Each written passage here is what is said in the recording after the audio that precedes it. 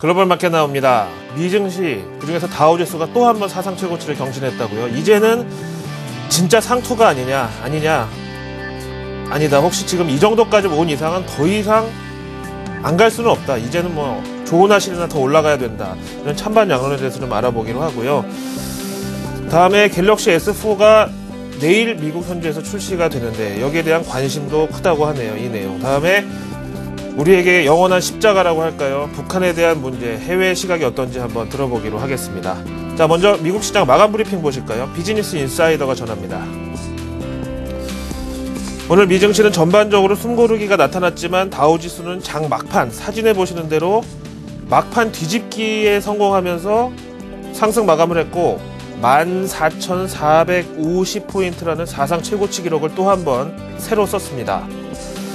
오늘 뭐 메이저급 경제 지표는 없던 가운데 여러 가지 이슈들이 조금 있었는데요. 먼저 월마트의 CEO가 컨퍼런스를 통해서 지난번에 저도 한번 전해드렸었는데 1, 2월 매출 감소가 심각하다는 이메일을 내부 직원들한테 썼는데 이게 외부로 새 나오면서 당시 월마트의 투매가 잠깐 나타났었고 또 미 소비 추세 전체에 대한 우려감이 일어났던 해프닝이 있었지만은 월마트 CEO가 그 사건을 언급하면서 최근 들어서 보니까 별것 아니었던 것으로 증명이 됐고 매출에서 지난 우려와는 좀 달랐다 이렇게 전했습니다. 이 소식에 월마트 주, 주가가 1% 가까이 올랐는데요. 물론 뭐 이거를 개별 기업 이슈라고 할 수도 있겠지만은 월마트는 우리나라 이마트 정도 위상을 가진 대표적인 이런 소매 할인점이고 또 이번 주 가장 중요한 경제 지표가 내일 밤에 나오는 2월 소매 판매거든요. 지난번 고용도 좋았고 ISM 제조업 서비스업 다 좋았는데 과연 이게 다 좋아져서 결국 소비로 연결이 됐을 것이냐 이게 마침표를 찍어줘야 되는데 이렇게 소매 판매 지표가 하루 앞두고 있는 상황에서 월마트 CEO가 했던 이런 성명 내용은 보통 뭐 고용 지표 나오는 주간에 주간 실업수당 청구도 크게 대접받는 것처럼 이렇게 월가에서 큰 뉴스로 관심을 받았다는 것이 어찌 보면 당연하다 이렇게 봐야 되겠죠. 그 다음에 오늘도 미증시에 대한 낙관론 즉 앞에서 말씀드린 대로 이렇게 된 이상 다우지수 15,000까지는 그냥 직행한다 혹은 이제가 진짜 상투다 앞으로 몇 년 동안 조정이 온다 뭐 이런 비관론이 만만치 않게 대립을 했는데요. 이 내용은 자막으로 한번 빼봤습니다. 이렇게 살펴보시죠. 먼저 제프리 센코. 자사의 연말 S&P 500 지수 예상치를 기존 1565포인트에서 1673포인트로 상향을 했다 그러면서 그 근거로 지난 4분기 실적을 통해서 확인되는 과거와 가이던스를 통해서 예측해본 미래, 그러니까 과거와 미래가 다 좋다. 기업 실적의 예상을 넘어섰고 화살표가 너무 많이 들어가 있는데 어쨌든 자금 시장의 흐름이 채권 시장에서 빠져나와서 증시로 들어가는 이런 상황이다. 이렇게 해서 근거까지 달았습니다. 다음에 NYU 교수님이 의견을 또 냈네요. 최근 증시 상승이 앞에서 보신 대로 분명한 근거를 갖고 있다는 것은 인정하지만 지금까지 저금리와 양적 완화로 겨우 돌아가던 미국 경제가 이런 저성장 추세를 상향 이탈해서 성장률이 강화될 경우 인플레이션율이 생각보다 빨리 튀어오를 수가 있고 금리 인상은 불을 보듯이 뻔하다. 이럴 경우에 과연 지금까지 인위적인 성장세가 지속 가능한지에 대한 우려를 금할 수가 없다. fundamental을 얘기하면 나도 fundamental로 빗하겠다 이런 얘기죠. 어쨌든 그래도 다우지수의 기세는 쉽게 꺾일 것 같지는 않아 보입니다. 자, 우리 증시 코스피 영향력을 감안하더라도 또 대한민국 대표 international 기업 삼성전자 위상 여러 가지를 보더라도 갤럭시 S4에 대한 관심은 상당히 뜨거운 상황인데요. 해외에서도 예외가 아닙니다. 함께 보시죠. CBS의 기술 섹션 C넷이라고 있는데요. 뭐 우리나라에서도 요즘 많이들 이거 보시잖아요. C넷. 3월 14일 우리 시간으로 내일 밤에 공개를 앞둔 삼성전자 갤럭시 S4에 대해서 미국 현지 관심이 상당히 뜨겁다고 설명하고 있고 한 전자제품 전문 사이트에 따르면은 삼성전자 갤럭시 S4에 들어가는 카메라에 모바일용 3D 동영상과 still shot 기능을 특허 출원했다고 전하고 있대네요. 핸드폰으로 카메라 동영상이나 이런 걸 찍는데 이게 3D로 녹음이 되고 3D로 볼 수 있다는 거네요. 대단하죠? 아무튼 뭐 이러저러한 여러 기능에 대한 수많은 루머들을 쭉 총정리하고 있고요. 뭐 거의 A급 연예인 수준의 관심이라고 제가 말씀드려도 이게 과언이 아니겠네요. 자, 일단 삼성과 애플 이 대결에서는 삼성이 뭐 확실히 승기를 잡았다고 말씀을 드릴 수 있겠는데 이제 새로운 적이 또 출연을 했죠. 관련 내용 월스트리트 저널이 전합니다. 앞에서 말씀드렸지만 뭐 갤럭시 S4는 오는 목요일 그런데 블랙베리가 다음 주 신제품 스마트폰 공개를 앞두고 있다고 하고요. 25일 금요일 AT&T에서 기기를 판매한다고 했으니까 그 전날 나오겠죠. 그래서 이 블랙베리가 사실 우리나라에서는 마케팅에 좀 실패를 했는데요.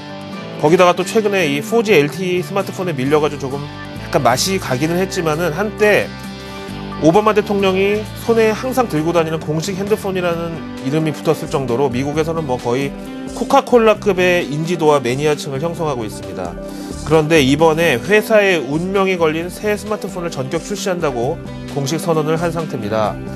그렇다면 삼성 입장에서는 속된 말로 패를 먼저 까는 지금 그런 상황인데요. 애플과 삼성전자 그동안에 보시면은 요 며칠 동안 동시에 하락했 지만 이 블랙베리는 주가가 올랐단 말이죠. 그렇다면 이거를 새로운 long short 전략이라고 봐야 되느냐. 삼성 팔고 블랙베리 샀고 또 애플 팔고 블랙베리 샀고 이런 long short 전략으로 봐야 된다는 차원에서 오늘 우리나라 삼성전자 그리고 코스피지수의 향방은 어떨지 한번 봐야 되겠는데요.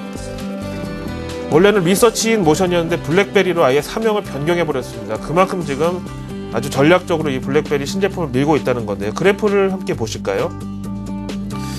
지난 3년간의 흐름 보시면요. 삼성전자가 쫙 치고 올라가는 동안에 이 블랙베리는 아까 말씀드린 대로 슬슬슬 흘러내리면서 조금 시장에서 천대를 받았지만은 최근 한 달치 흐름을 보시면은 롱숏 전략이 이해가 되실 거예요.